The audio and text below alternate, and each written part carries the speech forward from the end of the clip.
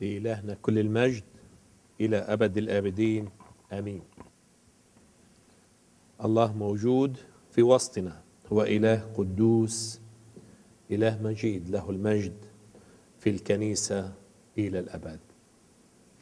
دعونا جميعا نسكب قلوبنا أمام الله بالصلاة. يا رب أتينا إليك في هذه الساعة لأنك أنت إله قدوس ومجيد أبو المراحم الأبدية. أنت هو أمس واليوم وإلى الأبد. أتينا لكي نجلس في محضرك لكي نسمع لصوتك لكي تكلم قلوبنا. أرجوك يا رب أن تتكلم إلى كل واحد منا. وأن تعظم اسمك في حياتنا جميعا. أرجوك أن تفتح يدك وتبارك شعبك ببركات خاصة من عندك وأن تتمجد في حياتنا جميعا وأن تعظم اسمك فيما بيننا. نشكرك لأنك أنت هو الرب إلهنا. أنت هو الرب شفانا. أنت هو الرب القدوس. أنت الإله المجيد. نشكرك لأنك تسمع وتستجيب وتعظم اسمك في وسط شعبك. ونشكرك لأنك تكمل عملك معنا. ليس لنا ليس لنا بل لاسمك نعطي كل المجد من الآن وإلى الأبد. آمين. آمين. دعونا نقرأ من كلمة الرب من سفر دانيال الإصحاح العاشر. مبتدئين بالقراءة من العدد الأول. في السنة الثالثة لكورش ملك فارس كشف أمر لدانيال الذي سمي باسم بلتشصر والأمر حق والجهاد عظيم وفهم الأمر وله معرفة الرؤية. في تلك الأيام أنا دانيال كنت نائحا ثلاثة أسابيع أيام. لم آكل طعاما شهيا ولم يدخل في فمي لحم ولا خمر ولم أدهن حتى تمت ثلاثة أسابيع أيام. وفي اليوم الرابع والعشرين من الشهر الأول إذ كنت على جانب النهر العظيم هو دجلة. رفعت ونظرت فإذا برجل لابس كتانا وحقواه متنطقتان بذهب أفاز وجسمه كالزبرجد ووجهه كمنظر البرق وعيناه كمصباحي نار وذراعاه ورجلاه كعين النحاس المصقول وصوت كلامه كصوت جمهور. فرأيت أنا دانيال الرؤيا وحدي والرجال الذين كانوا معي لم يروا الرؤيا لكن وقع عليهم ارتعاد عظيم فهربوا ليختبئوا.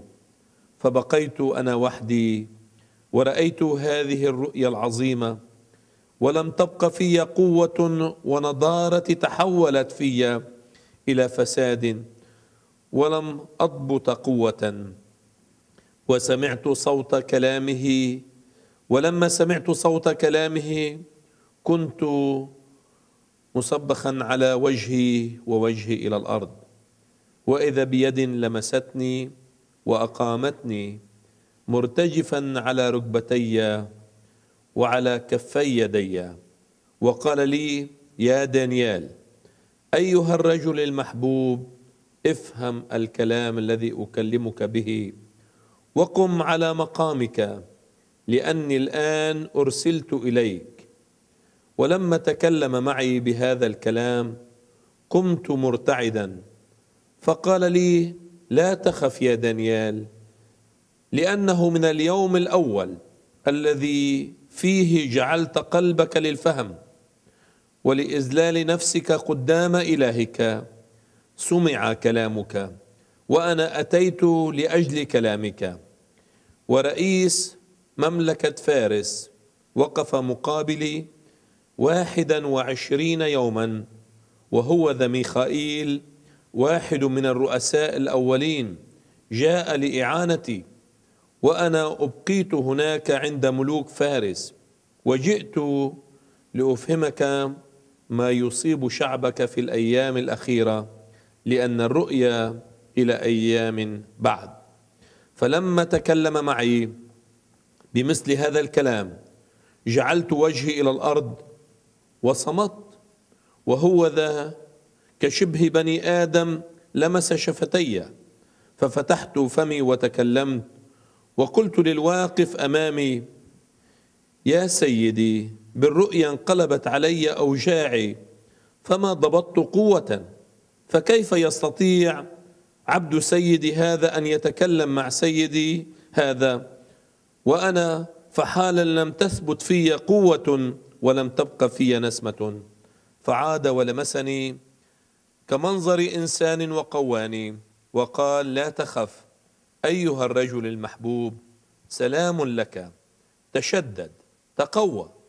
ولما كلمني تقويت وقلت ليتكلم سيدي لأنك قويتني. فقال هل عرفت لماذا جئت إليك؟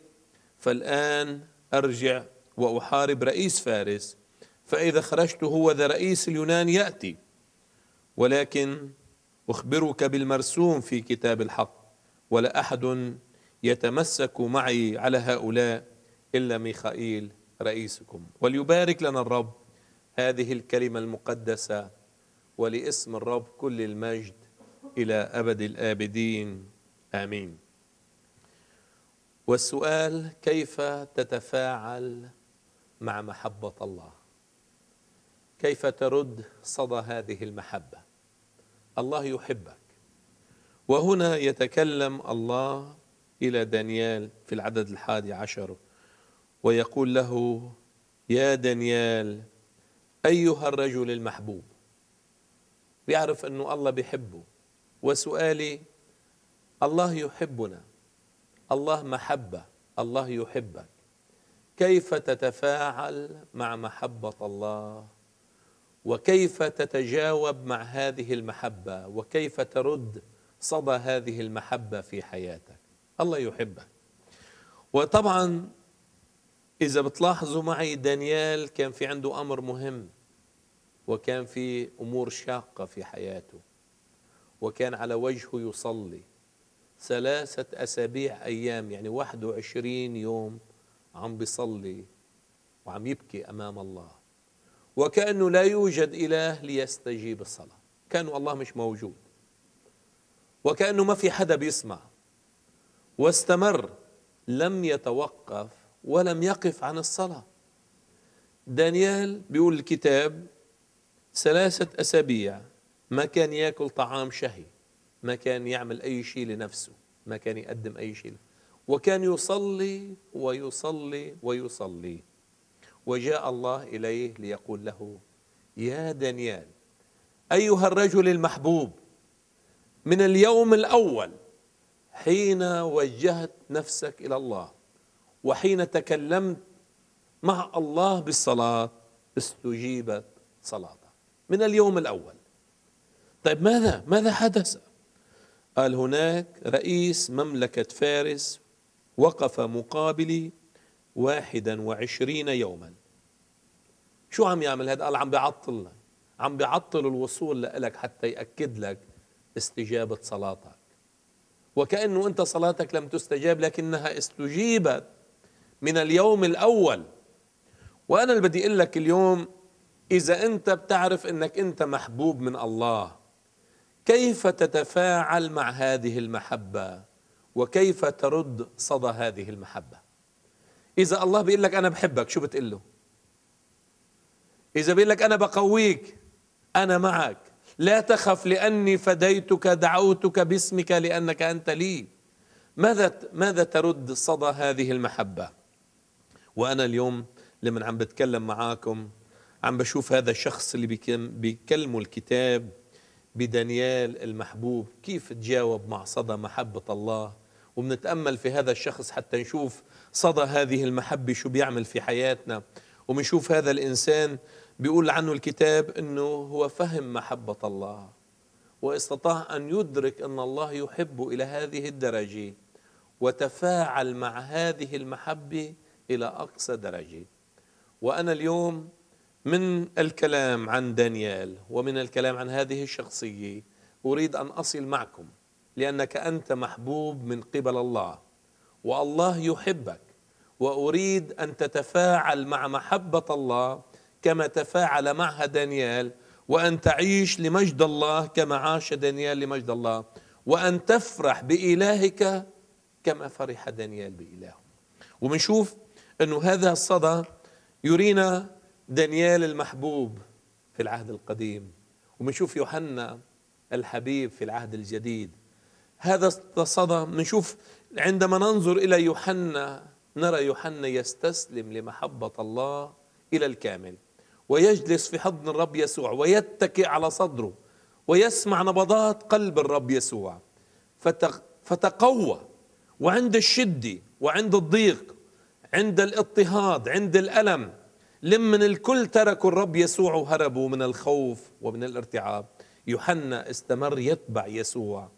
وكان لا يهاب لأنه صدى المحبة تطرد الخوف من القلب.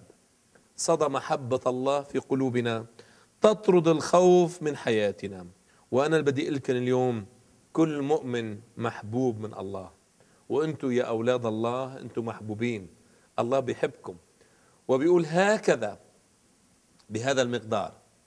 هكذا أحب الله العالم حتى بذل ابنه الوحيد لكي لا يهلك كل من يؤمن به بل تكون له الحياة الأبدية. وأنا اليوم لما بدي بدي أتكلم معاكم. هل تدرك أنه الله بيحبك؟ هل تدرك هذه المحبة؟ هل تفهم معنى هذه المحبة؟ هل تقدر هذه المحبة؟ هل تقدر أنه الله بيحبك؟ طيب إذا أنت عرفت أنه الله بيحبك بتقدر هذه المحبة؟ كيف عم تتجاوب معها؟ كيف صدى هذه المحبة بحياتك؟ كيف أنت بترد صدى هذه المحبة في حياتك بين الآخرين؟ منشوف دانيال. دانيال بيعرف أنه الله بيحبه وبيعرف أنه إلهه بيحبه ومنشوفه أنه شاب في بداية حياته في طلعته في بداية أيامه قال سبي إلى بابل. يعني شخص كان عايش فرحان في بلده. اجى جيش الأعداء وسباه. وهناك صار أسير مذلول. لم يتخلى عن محبة الله رغم الصعوبات رغم الضيق رغم الفشل رغم التحديات رغم الأوجاع.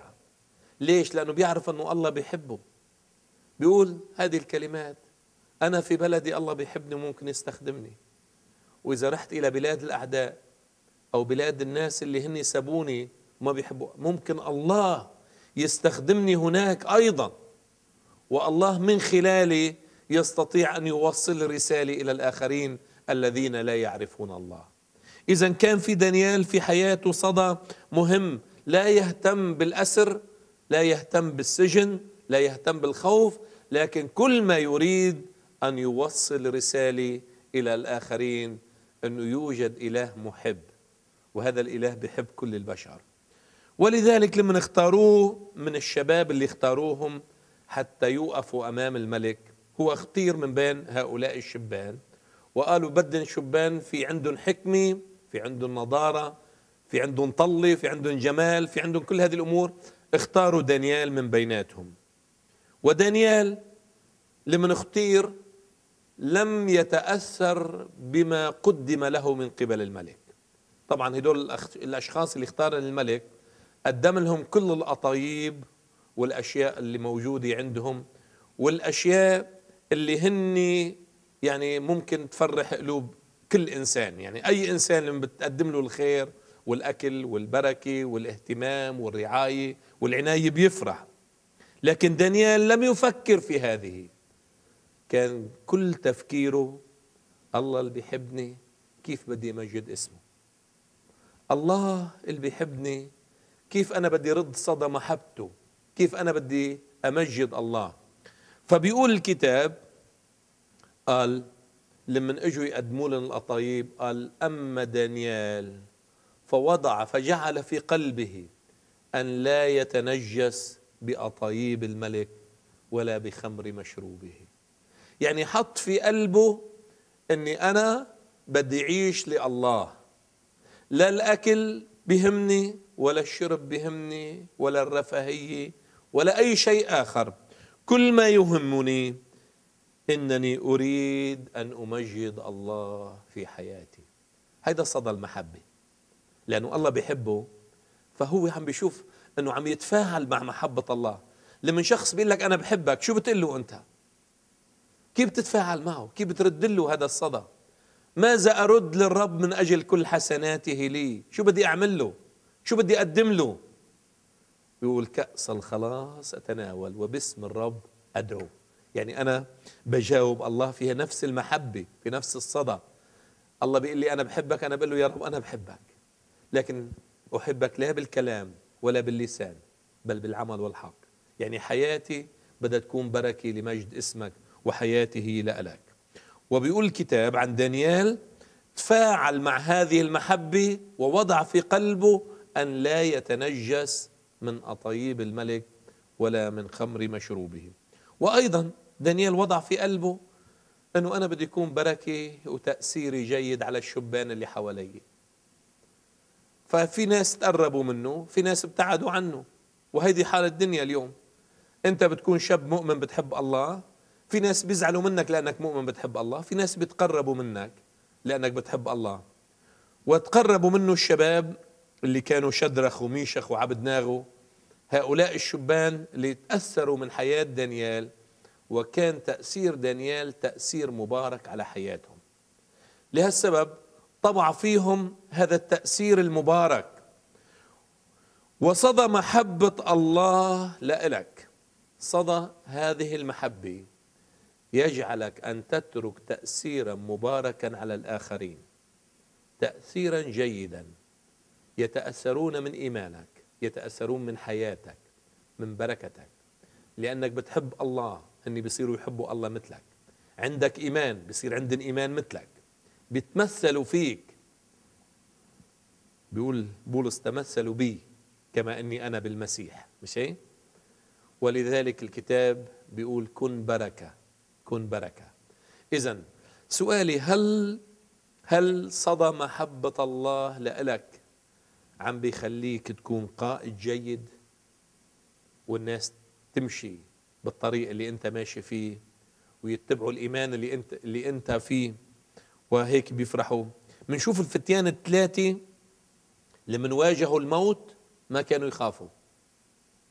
لمن واجههم الملك وقال لهم ربما أنتم لما سمعتوا صوت الناي والمزمار وهيك ما انتبهتوا. الآن بعد لكم القضية وبعدين بتسجدوا لتمثال الذهب اللي أنا صنعته. قالوا له هالكلمات ليكن معلوما لديك أيها الملك إننا لآلهتك لن نسجد. اللي بدك تعمله فينا اعمله. نحن عنا إيمان بإلهنا. نحن نثق بإلهنا. هذا التأثير المبارك اللي تركه دانيال على هؤلاء الشبان جعلهم أبطال الإيمان أبطال الإيمان والكتاب سطر هذه البطولة من تأثير دانيال على حياة هؤلاء الشبان ومنشوف إذا صدى محبة الله في قلب دانيال خليته يحب الله خليته يكون شخص مبارك خليته وأنا بدي أسألك هل تدرك أنه الله يحبك؟ سؤالي هل تدرك أنه الله بيحبك؟ هل تعرف أنه الله بيحبك؟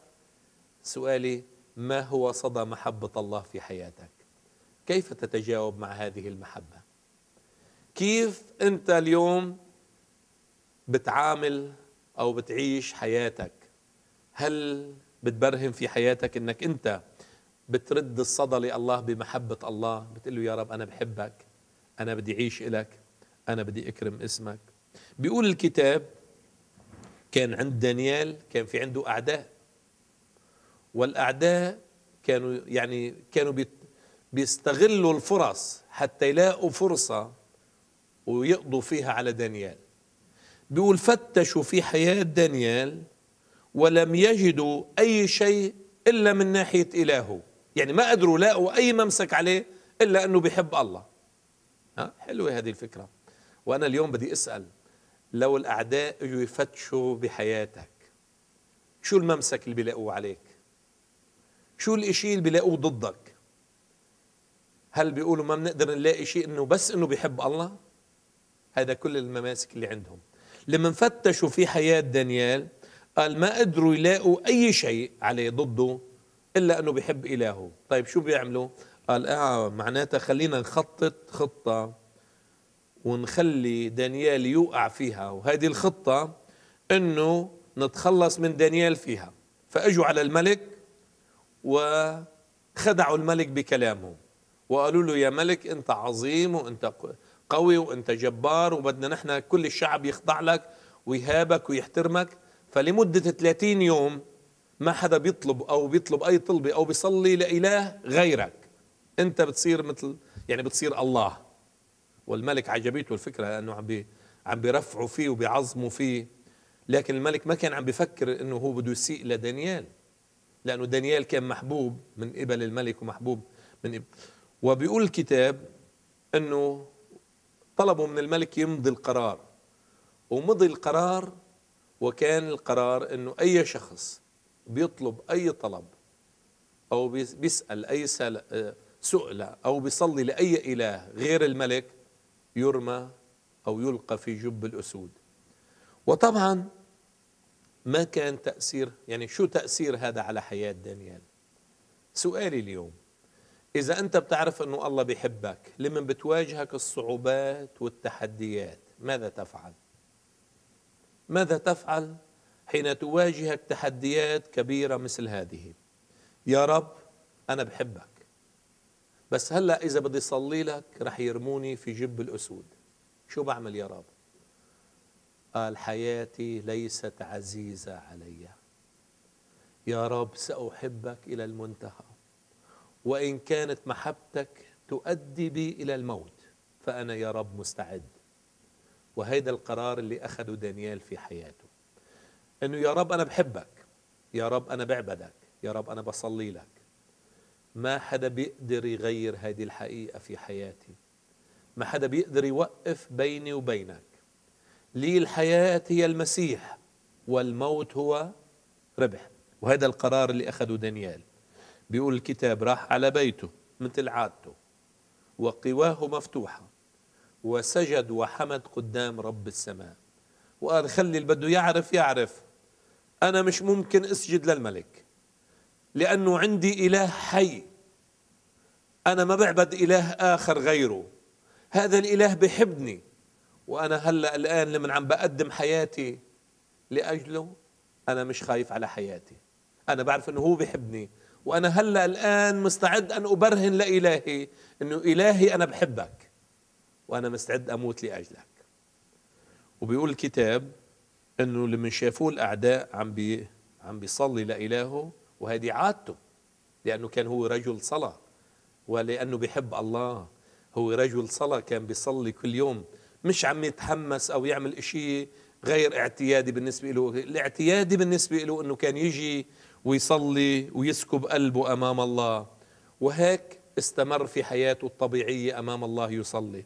وإجوا خبروا الملك يا ملك القرار صدر منك والقرار مكتوب وكان معروف قديما إنه شريعة مادي وفارس لا تنسخ والملك لما بيمضي قرار أو بيقول كلمة ما كان ممكن يتراجع عنها. وكان القرار المكتوب أنه مثل هذا يلقى في جب الأسود واللي أنا بدي أقوله وكان القرار أنه يلقى دانيال في جب الأسود وأنا اللي بدي لكم إياه هل هل دانيال خاف من هذا القرار؟ هل دانيال ارتعب أمام هذا القرار؟ يا رب اجى الوقت حتى ما جد اسمك لو بموتي. ولذلك محبة الله العظيمة إجت له تتقل له لا تخف لأني فديتك دعوتك باسمك أنت لي. إذا اجتزت في المياه فلا تغمرك والنيران لا تحرقك. أنا معك ولا الأسود رح تاكلك. وبيقول الكتاب لمن رموا دانيال في جب الأسود كان إلهه معه. وحول الأسود المفترسة إلى أصدقاء. حتى أحد الخدام مرة كان بيعبر وكان بيقول أنه دانيال في هذيك الليلة إجت الأسود اجتمعت حط بعضها وناموا ودانيال حط راسه ونام وتريح وكان دفيان. الأسود كان بتدفيه وكان مرتاح. ليش؟ لأن الأسود المفترسة الوحوش المفترسة صارت أصدقائه لأنه إله السماء رب السماء هو معه ويقول أنه الله كان موجود معه في جب الأسود.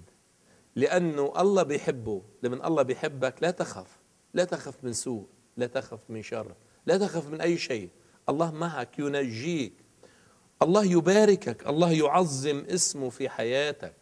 وهيدا الإشي اللي الله صنعه في حياة دانيال. إنه باركه ونجاه من فم الأسود. بالمقابل لما اجى الملك وناداه هل إلهك اللي أنت بتعبده قدر ينجيك؟ وكان الإجابة إلهي حي إلهي قدر ينجيني إلهي عظيم. وأنقذ يعني أخرج دانيال من جب الأسود. ولما ألقي أعداء دانيال في الجب بيقول الكتاب الأسود مزقتهم إرب إرب. لأنه وهيك بيقول يسقط عن جانبك ألف وربوات عن يمينك. إليك لا يقرب إنما بعينيك ترى وتنظر مجازات الأشرار. اللي أنا بدي أقول لك إياه هل أنت هل أنت تدرك محبة الله لك هل متكل على محبة الله لك هل واثق من هذه المحبة؟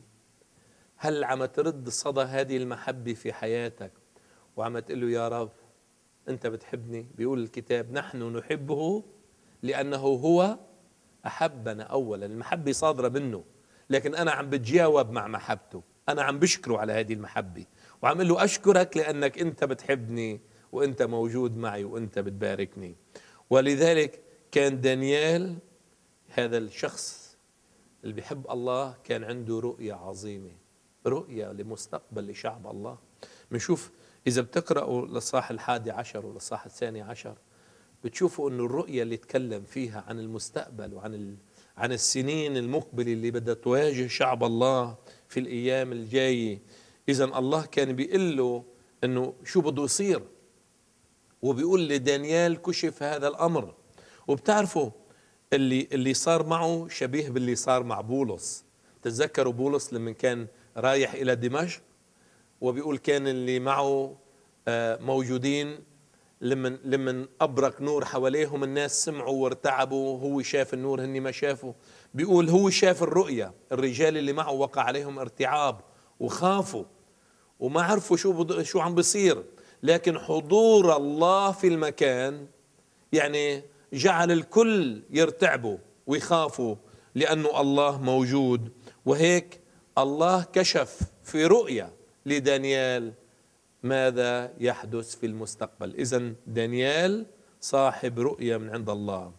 دانيال كان عنده عيون مفتوحة حتى يشوف شو الله بده يعمل بالمستقبل. وأنت اللي بتحب الله الله يريك يريك مجده يريك عمله يريك قوته يريك ما يريد الله أن يصنع في المستقبل ويريك أمجاد الله في الأيام المقبلة. اذا الله يري اللي بيحبه بيورجيه شو بده يعمل. ونحن اليوم بنشوف يد الله المفتوحة يد الله القوية يد الله الممدودة لتعمل في الجميع. اذا هذا ما شفناه في دانيال. وأنا سؤالي هل دانيال هو وحده المحبوب ولا كل شعب الله محبوبين؟ إذا بتلاحظوا في سلسلة في سلسلة في العهد القديم من الأحباء والمحبوبين من شعب الله. وبنشوف كل واحد تفاعل مع محبة الله بطريقة مختلفة.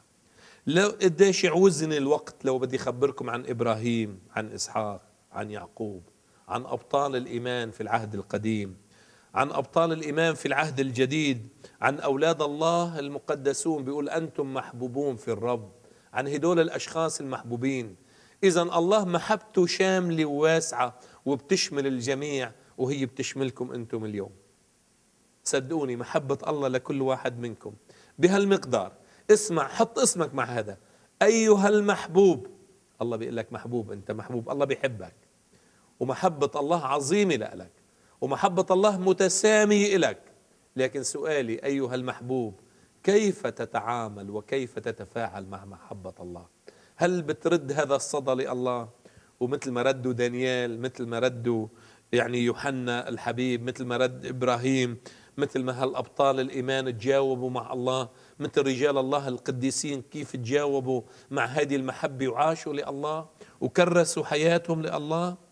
اذا أنتم محبوبون الله أحبنا في المسيح ودم المسيح سفك لأجلنا هذا عنوان المحبة العظيمة.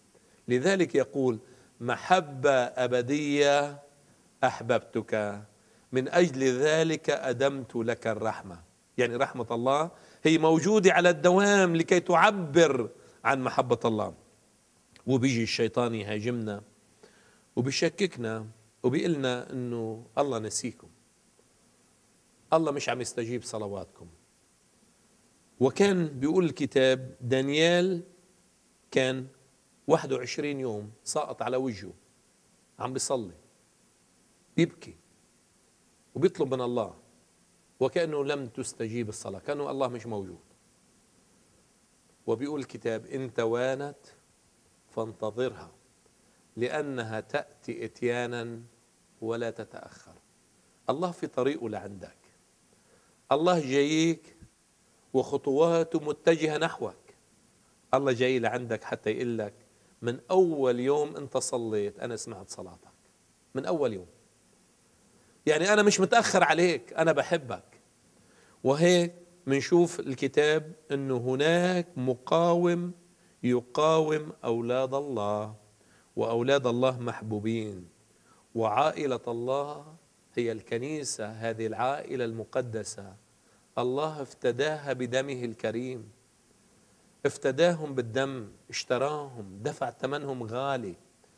أنتوا يا أولاد الله ثمنكم غالي جدا. بيقول الكتاب اشتريتم لا بأشياء تفنى من فضة أو ذهب من سيرتكم الباطله الباطلة بل اشتريتم بدم كريم كما من حمل بلا عيب. دم ابن الله دم المسيح. هذا الدم الأزلي اللي هو دفع ثمنك فيه لأنك غالي جدا. أنت غالي ومحبوب على قلب الله؟ الله بيحبك. هل تدرك هذه المحبة؟ هل تدرك محبة الله لحياتك؟ وهل تسير في رضا الله وتقول له شكرا يا رب لأنك بتحبني؟ في ناس في ناس اللي في أولاد بيحرقوا قلب أهاليهم لأنه ما بيدركوا محبة أهلهم لهم ما بيدركوا محبة أهاليهم لهم بصير يعني بيعيشوا في في الطيشنة في الخطية في البعد عن الله. والأهل قلوبهم بتتقطع عليهم لأنهم بيحبوهم وبدهم مصلحتهم. وبفكروا إنه هن عم يطلبوا منهم أشياء هن ما بيحبوها فبيبعدوا وبصيروا يعملوا الخط. وكثير من المؤمنين مرات بيبتعدوا عن الله بسبب عدم إدراكهم لمحبة الله لهم بيصيروا يعملوا على مزاجهم ويفكروا إنه إذا بدي يطيع الله الله عم يحرمني من كذا وكذا وكذا. ما بيعرف إنه هذا لخيره الذي يريده الله لك هو أفضل مما تريده أنت لنفسك. واللي بيعمله الله لك أفضل من اللي أنت بتعمله لنفسك. لذلك ضع يدك بين يدي ضع نفسك بين يدي الله واقول للرب لتكن يا رب إرادتك في حياتي. تعرف المرنم بيقول هذه الكلمات؟ خذ بيدي وقدني كما تشاء حتى أرى في ليلي نور السماء يسوع سر أمامي فأتبعك وحيث ما تسير بي أنا معك. يا رب مثل ما أنت بدك خذني لأني بعرف وأنا متأكد من محبتك إلي. اذا وهيك هذه الكنيسة كنيسة الله لازم نشجع بعضنا البعض على الخير وعلى المحبة كل واحد منا يقول له يا خيي الله بيحبك. أبونا السماوي واحد هو الآب السماوي. بيحبني وبيحبك بيحب كل واحد منا. بنشجع بعضنا على الخير وبنشجع بعضنا على السير في رضاه وهيك بنشوف إنه كان تأثير دانيال تأثير مبارك على الذين حوله على الشباب الذين كانوا حوله وكان يقودهم إلى الإيمان.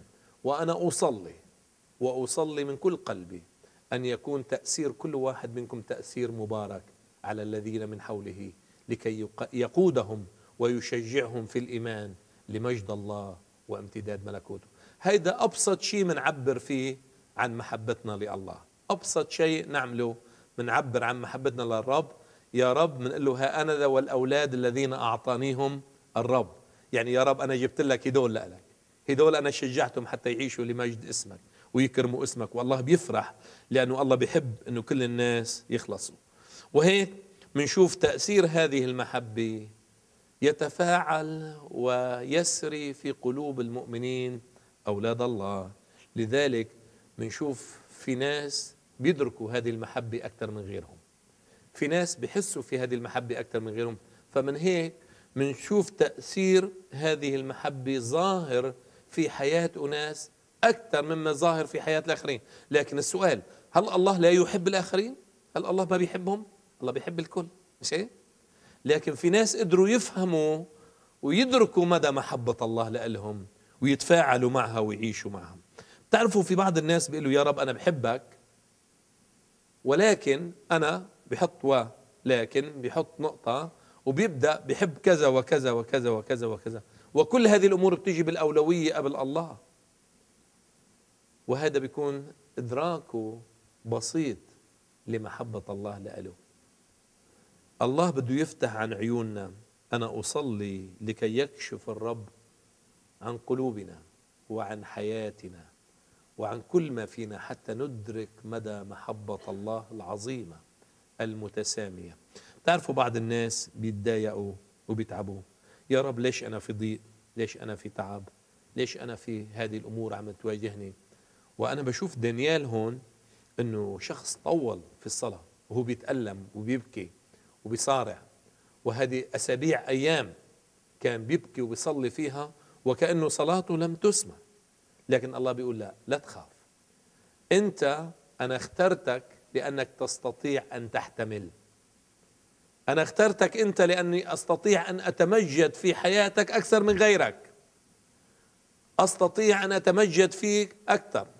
واللي بدي لكم إياه لما نحن تزداد الآلام علينا. خليني أعطيكم حياة بولس. بولس بيقول انكسرت فيه السفينة. رجم. ضرب بالعصي. طرح بين حي وميت أكثر من مرة. وكل مرة كانوا يقتلوه قال ظاهرة في جسده سمات الرب يسوع المسيح. وبيعتبر هذه السمات وهذه العلامات من الاضطهاد والألام اللي واجهته هذا وسام ونشان له أنه هو بيحب الله؟ إذا ما تخاف من هذه الأمور اللي بتواجهك في حياتك. ما تخاف من هذه الألام اللي بتعصر قلبك وبت...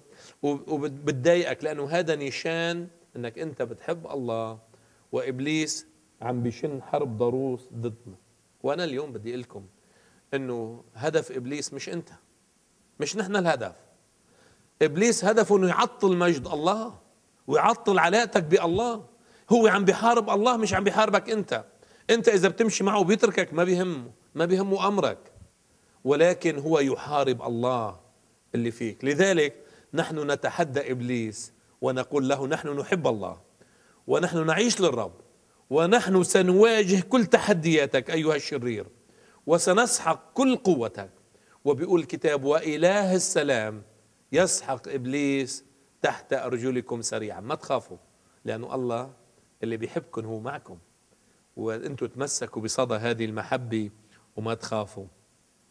وبيقول الكتاب آه، يعني دانيال كان محبوب آه، لأنه هذا الشخص ظهر لنا نحن محبوب أكثر من غيره.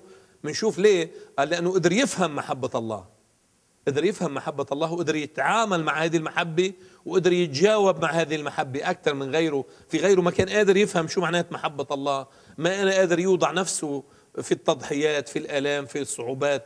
فلذلك صلاتي أنه نحن نقدر نفهم معنى محبة الله إلى النهاية في حياتنا ونتجاوب مع هذه المحبة. والله سيتمجد في حياتنا إلى التمام. ولذلك بنشوف الإيمان ما في أنانية فيه في عطاء. ما بيريد لنفسه بيريد يمجد الله. لتكن لا إرادتي بل إرادتك. وهذا اللي شفناه في الرب يسوع المسيح. لما كان موجود في البستان وعم بيصلي وكان بيقول له إن أردت أن تجيز عني هذه الكأس. لكن لتكن لا إرادتي بل إرادتك. أنا أتيت لأجل هذا. إذا آه، حياة الإيمان حياة اللي بتمجد الله. بدنا نمشي مسيرة تمجد الله وتعلن حق الله وتعلن إنه الله بيحبنا. ولما نحن بنورجي للآخرين إنه الله بيحبني أنا بحبه. أنا بحبه لأنه هو بيحبني. وهيدي بتعطينا صورة نوع من بطولة اسمها بطولة الإيمان. والرب يتمجد ولاسم الرب كل المجد. من الآن وإلى أبد الآبدين. آمين. دعونا جميعا نسكب قلوبنا أمام الله بالصلاة. كل واحد فينا يسكب قلبه قدام الرب بالصلاة. الله بيحبك. هل عم تتفاعل مع هذه المحبة؟ هل عم تقدر هذه المحبة؟ هل عم تواجه إبليس وجنود الشر بتمسكك بهذه المحبة؟ الله بيحبك إلى المنتهى. يقول محبة أبدية أحببتك. الله بيحبك لا تخف لأني فديتك. دعوتك باسمك أنت لي. الله مش تاركك إذا ما وصلت الصلاة لك الآن لأنه في عدو عم بيعطل وصولها. لكن الله سيستجيب. لأنه الله استجاب من وقت ما أنت بدأت تطلب. قل له يا رب أشكرك لأنك سمعت واستجبت. قل له أشكرك لأنك ابتدأت تعلن لعبدك انه استجابتك استجابة حقيقية. دعونا جميعا نقف لكي نصلي. دعونا جميعا نقف لكي نصلي. يا رب نشكرك. أنت الإله العظيم القدوس. والآن نحن نقف أمام هذه المحبة العظيمة التي أحببتنا بها. وأنت تقول لكل واحد منا أنت محبوب. يا رب نشكرك لأنك أحببتنا. يا رب دانيال قدر يفهم صدى هذه المحبة. يوحنا قدر يفهم صدى هذه المحبة. الرسل قدروا يفهموا صدى هذه المحبة. أبطال الله في القديم قدروا يفهموا صدى هذه المحبة. ساعدنا يا رب لكي نفهم صدى هذه المحبة. ونتمسك بمحبتك. ونشكرك لأنه مكتوب إن توانت فانتظرها لأنها ستأتي إتيانا ولا تتأخر. يا رب من من أول لحظة أنت تسمع وتستجيب. يا رب نصلي ونشكرك لأنك أنت يا رب شفيت عبدتك ابتسام. من أول لحظة يا رب صلينا وطلبنا لأجلها. ونشكرك لأنك استجبت. ونصلي ويا رب نشكرك لأجل كل مشكلة يا رب صلوا الأخوة لأجلها. إن كانت كبيرة أو صغيرة من أول لحظة أنت استجبتها. والتأخير موجود بسبب العدو بسبب إبليس. ولكن نحن واثقين انه كل مؤمن صلى كل مؤمن طلب طلبه من عندك. كل واحد يا رب عنده عنده صلاة خاصة طلبها منك. أنت استجبت الصلاة. يا سامع الصلاة إليك يأتي كل بشر يا رب أتينا إليك وأنت سمعت واستجبت وأحببتنا محبة عظيمة محبة لا متناهية. نشكرك نشكرك لأن صلواتنا مستجابة وأنت تستجيب. من البداية تستجيب أنت القدوس المبارك. ساعدنا يا رب لكي يا رب نتفاعل مع هذه المحبة ونتمسك بمحبتك إلى النهاية. ونحبك في حياتنا ونكرم اسمك في حياتنا ونرفع اسمك ونعليك لأنك إله مبارك إله مجيد. تستحق الشكر والإكرام والسجود والعبادة من الآن وإلى أبد الآبدين. آمين. آمين. تفضلوا استريحوا قلوبنا بالصلاة. قال له أشكرك يا رب أتبعك ربي يسوع. أتبعك بلا رجوع. أشكرك يا رب لأنك بتحبني. أشكرك من أجل محبتك العظيمة. أشكرك لأنك تناديني محبوب. أنت تحبني. يا رب أشكرك. أشكرك من أجل هذه المحبة. أنت يا رب حبيتني وما فيني شيء بينحب. أحببتني فضلا لك كل المجد يا رب. أرجوك يا رب أن تمد يدك وتلمس كل رأس منحني أمامك الآن. وتؤكد هذه المحبة وتثبتها في القلوب.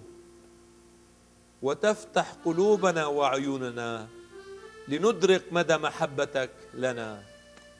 ونتفاعل مع هذه المحبة.